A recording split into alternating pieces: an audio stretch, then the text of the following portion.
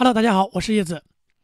新加坡的法律啊，大家一直都认为非常的严，因为新加坡有一个鞭刑啊，就是会用这个藤条，虽然说是鞭子啊，其实也不是鞭子，就是一个藤条打这个屁股。所以这个刑法呢，被很多人诟病，很多外国人都觉得哇，这个新加坡的法律太严，而且新加坡。去过新加坡旅游的人都会看到，新加坡街边上呀会有很多的告示，会有很多的 sign 告诉大家这个不可以，那个不可以。所以很多人会觉得，哎呀，新加坡法律真的是太严格了，这个也不行，那个也不行，而且一个不小心就会被打鞭子。其实这个是一个很大的误区。我曾经做过一期节目，说过一些我的亲身经历。那么今天呢？感谢一位好朋友，新加坡的好朋友给我发来的邮件，给我提供了几条新闻线索。我来对比一下这些新闻线索以后呢，我真的觉得有些时候新加坡的法律真的是太松了，或者不能说太松吧，我只能说是太人性化了。那么首先这样，我们来看我这个朋友发来的这个邮件给我提供的新闻线索。这条新闻线索呢是这样的：是《新民日报》七月三号周三，也就是昨天。的一条新闻啊，标题很好玩，叫做“悍妇醉酒哭闹打保安”，然后也打了警察啊。这个我们把这个事情简单的说一下，就是说一个女的呢，她喝醉酒了以后发疯，然后保安呢把她带到了德士站，想让她去这个打德士离开，她呢对保安又打又踢。然后警察到场以后呢，他还给了警察一巴掌，然后呢，结果被判入狱十二周，罚款一千元。被告这个名字是音译的啊，四十六岁的一个女士，来自中国，又是来自我们的遥遥领先国啊，是本地的永久居民啊，她已经拿到去这个新加坡的 PR 了。她面对三项，包括蓄意伤人、阻碍公务员执行公务、公共滋扰以及。抵触私人保安业法令的控状。二零二三年，去年了啊，九月十九日凌晨两点，这个女的呢，四十六岁，这个女的呢，她在克拉克码头，在克拉克啊，被一名保安发现，她正在和另外一个，反正就是在纠缠吧，就打吧。反正呢，保安把她送到了这个德士站，这个她又继续发酒疯，又哭又闹。保安被被告打了好几巴掌，小腿也被踢。于是报警求助，真的，新加坡保安 真的是脾气太好了。这要换了是在别的国家，或者是在遥遥领先国的话，那真的是两拳就把你打闷掉了。新加坡到场后发现啊，警员到场后发现被告看起来相当的醉，而且鼻子在流血。后来就是说，后来机就是电子这个就是监控显示，他之前是和别人发生争执的，结果这个女的呢。被别人给打了，他没没有占到便宜，没有打过别人，他被别人打了，不好意思，我不应该笑的啊，我只是觉得这个女的蛮蛮蛮蛮扯的。Anyways，他被人打了，然后他可能心里面很不满意，结果保安对他比较比较友善，他反而还打保安，结果你看啊，然后警察警员到场后发现被要被告这个流血，然后警员要求出示其身份证，他开始蹲在路边上找，不久后。开始从包里拿出东西扔在路上，挑衅警员。然后呢，被告还要求警员整理他从包里掏出的东西，还有钱。与警员交涉过程中，被告反复对警员大喊大叫和嘲弄警员。警员不止一次要求被告冷静下来。这个我是通过上次那个医院里面大闹医院的那个那个女孩子的那个事情，我确实发现新加坡的警员真的是。非常的和蔼可亲啊，要他不要大声说话，但他还是一意孤行。当警员要求被告不要碰他时，被被告扇了警员左脸一巴掌，导致对方面部挫伤，真的把警员的脸都打挫伤了。被告后来在现场接受医务人员的治疗后被捕，被押送至警局，然后后来就被被控啊，怎么怎么样，然后一直到昨天才被判刑。那么，这个事情我为什么说通过这个事情，我就觉得新加坡法律太松了呢？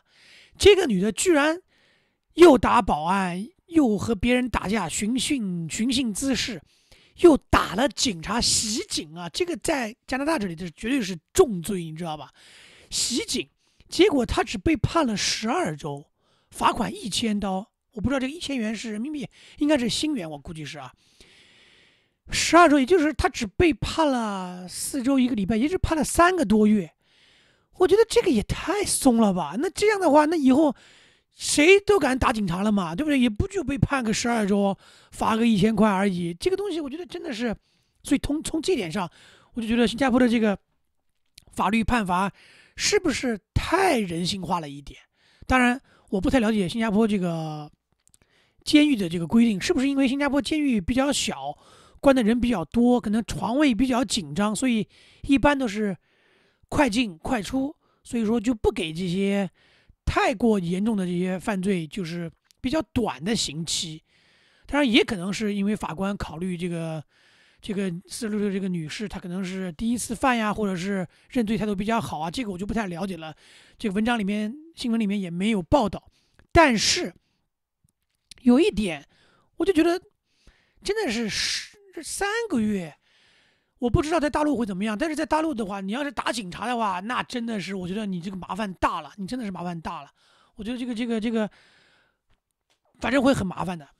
所以我觉得新加坡这一点，大家都觉得新加坡哇，动不动就打你鞭子啊，怎么怎么样？当然鞭刑不能对女性使用啊，但是最起码也能够侧面说明这个判刑还是比较松的。我觉得是。我当时回复这个邮件的时候，我就回复我的那个新加坡的网友，我就说了，我说这个判的太轻了，这种打警员就是殴打公务执法人员，这简直就是不可理喻，重罪，这应该是重罚，我觉得是要应该是这个才能起到一个重罚，才能起到一个杀鸡儆猴的作用。Anyways，反正罚的很轻，然后再回回过头来说我之前说的话题。很多人觉得新加坡法律重，但新加坡的法律其实是就像这个新闻里面报的一样，是非常的人性化的。它会根据不同的不同的情况而定。在我之前的这个回复里面，有人回复说，他父亲在新加坡抽烟，在祖屋周围抽烟，然后是被提醒了好几次以后才被罚款的，对吧？这是实例。然后我自己，我之前也说过，我当年二零零零九年的时候。我跟我当时的我的太太，我们那个时候还没有结婚嘛。我我当时的那个我的对象，当时的女朋友，还有我的新加坡朋友，还有一个香港朋友，我们一起开车去马来西亚玩。当我们过边境的时候，只有我一个人是中国护照，当时一个香港护照、新加坡护照和一个加拿大护照。结果我老婆当年也是稀里糊涂的年轻嘛，在新加坡只能就是免签归免签，但只能待一个月嘛，三十天嘛。结果她已经逾期了那么两三天吧。结果过海关的时候，我们是驾车去的嘛，在那个海关的地方被拉进了小黑屋。当时我们都想完蛋了，因为当时我也觉得，因为新加坡是不是法律很严啊？虽然我知道他不会被鞭刑，但是会不会被很严重或者是重罚呀？当时我们都很担心。我们在车子里面就很，车子里面一片死寂，一片寂静，我们都没有太多的聊天，大家心里面都一直悬着。但是很快，五分钟、十分钟他就出来了。然后跟我说，跟我们大家说，这个很好，这个海关人员态度也很好，说给他警告了他一下，然后给他重新盖了一个章，让他续了一个续签一样的东西，然后我们就继续去马来西亚了。然后后来回回新加坡也没有任何问题。所以新加坡法律，我觉得还是在执法层面还是比较人性化的。这一点我觉得可能发达国家都这样。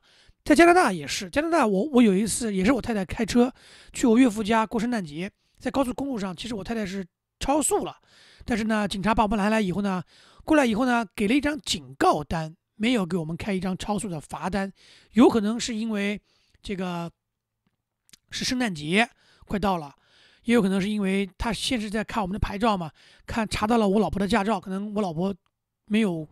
超速的这些单子属于初犯，所以他就只给了一张警告单，一分钱都没有罚。所以我觉得很多情况下，这里的警察真的是以教育为主，而并不是非要重罚你。新加坡我觉得也是一样，在很多情况下，包括包括这个打警察都只被判十二周。当然，这只是一些轻的罪行，对一些比较严重的案件，他们还是会比较从重处理的。比如说，在新加坡，如果对女性进行一些骚扰或者是侵犯的话，那么判罚是比较严重的。也是昨天刚刚发生的一条新闻，一个日本的一个在新加坡发型师啊醉酒以后，和另外一个同样也是醉酒的一个大学生，然后他们他对这个大学生进行了这个侵犯，然后呢被判了十七年半监禁和二十下鞭刑，是七月一号刚刚七月一号前几天刚刚宣布的宣判的二十下鞭刑和十七年半的监禁。然后当时事发是在二零一九年十二月三十日，可能是跨年之前就假期了，也是在 Clarky 这个买醉后，两个人就是回到了住处，然后这个被告呢，就这个日本人呢，就非常的迫不及待啊，回家以后呢，还用手机把过程都录了下来，然后不不顾对方意识清醒后反抗，继续对对方实行侵犯，对吧？并且把发的这个录像发给了同行的朋友们。这个就非常的恶劣了，这种真的是非常恶劣。事情的这个具体过程呢，我就不再多说了。但是最终呢，被判了十七年半和二十下鞭刑。然后，但这个事情在日本引起了非常大的反响。为什么？因为日本在二零二二年十二月份的时候，有一个五十六岁的男的，他也被这个被控诉，他是对女性实施了这个侵犯。结果呢，后来呢？他被判了无罪，所以后来日本的很多这个网友就转发新加坡这个判决，觉得应该是判重判，而新加坡在这方面不姑息，我觉得是很好的。那么接下来我们再再简单的聊一下这个正好聊到了这个鞭刑嘛，就聊一下鞭刑啊。大家要要知道什么叫鞭刑，新加坡政府一直是坚持鞭刑不等于折磨，重刑才有有效。重刑才有有效遏制犯罪的这个能力，但它并不是等于要折磨这个受刑人啊。严格的执行标准，这个用于成年男性的藤鞭藤条为长度为一米二，直径不超过一点二七厘米厚。然后呢，这个鞭刑藤条的三分之一会进水，增加柔韧度和弹性。执行时，这个执行官必须不考虑犯人的年龄和罪行的轻重，使出全力，每一边都少许避开前面的伤痕，整齐排列，精准分布。鞭刑数量大时，几名这个行刑官会轮流上阵，确保鞭刑效果保持一致水准。受过鞭刑的犯人都表示，这种感觉疼痛难忍，如同触电。是一生中最痛苦的经验。然后呢，伤害性和羞辱性都很强。鞭刑在执行时，虽然在场人员不多啊，除了执行官和犯人以外，典狱长和这个医生也会在现场观看。犯人会被要求脱光全身的衣服，走到这个疫刑架之前，然后被实行这个行刑。所以呢，虽然没有外人在场，但一样，犯人会感受到自己的这个羞辱感是非常强烈的。会在一个 A 字形的架子上面，全身裸露，被执行这个九十度趴着，被执行这个双手双脚都要被绑着，被执行鞭刑。而执行官绝非力大就能完成这一刑法呢，也非常讲究技巧。在行刑官出手前，不仅需要全力抽打，还需要保证这个藤鞭的尖端迅速的从伤口上划过去，导致皮肤擦伤和鲜血渗出。一些受过鞭刑的人表示：“哎呀，这个很痛苦了，反正就是就是非常难受，非常痛苦。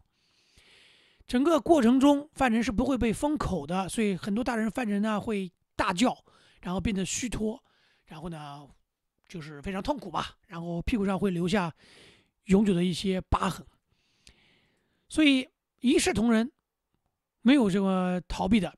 二零一六年，英国公民。”这个叫什么叶明元携带毒品在新加坡被捕，然后被执被判了执行鞭刑二十四下。就是说，新加坡对这个确实是法律就应该这样一视同仁，不能有这个法外情，要不然的话就很难维持法律的公平性，对吧？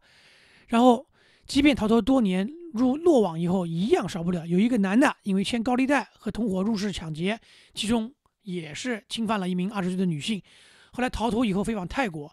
一三年，他们回到新加坡，立刻被捕，然后一样要接受之前所判的这个鞭刑。所以后来这个表示就是说，如果身体不适的人，OK，可以先治疗，治疗好了以后，鞭刑还是跑不掉的。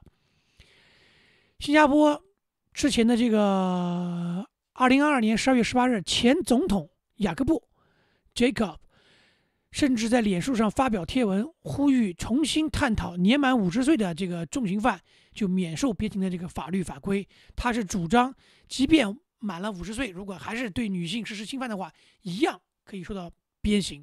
我同意，为什么呢？我并不是一个非常喜欢。我我并不支持这个比较重的重刑啊，但是这个五十岁这个问题，我觉得值得商讨。为什么呢？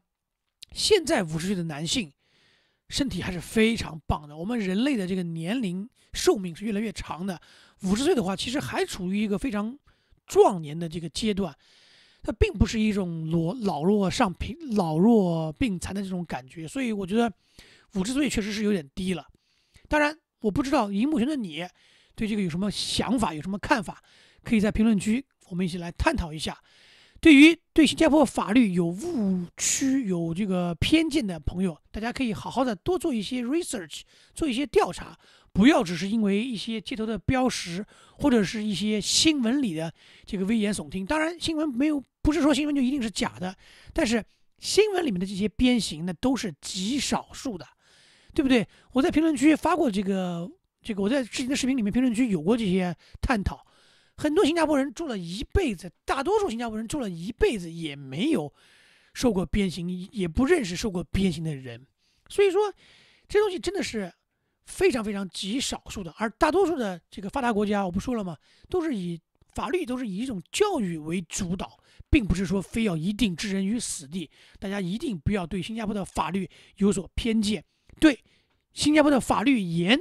一视同仁，这只能说明他们的执法力度公平，对所有人都公平，但不代表他们就一定都要把所有人都置之于死地，对吧？所以大家一定要公平的看待新加坡的法律，而这样的法治健全的国家，新加坡是一个非常法治健全的国家，而且是依法治国，而且因为这样是依法治国，所以新加坡的政府也是非常清廉的。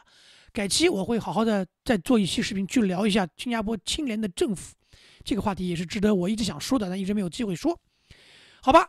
那么你对新加坡的法律有什么看法？可以把你对新加坡的刑法，包括你觉得新加坡到底是法律重还是轻？我个人觉得，说实话，在很多情况下，新加坡的法律还是比较这个有人情味儿的啊。当然，如果你犯了重刑，那该怎么样是怎么样？有一些真的是。突破了道德道德底线的这种这种罪行的话，我觉得也是不容姑息的。好，今天我就说这么多，Thank you very much。如果你喜欢我的视频，希望你多多点赞分享，这样可以增加 YouTube 推荐我视频的权重。不论你赞同或不赞同我的观点，都欢迎你在评论区留言，留下你的足迹。如果觉得我的频道有点意思，就请订个阅，关个注，下回更新不迷路。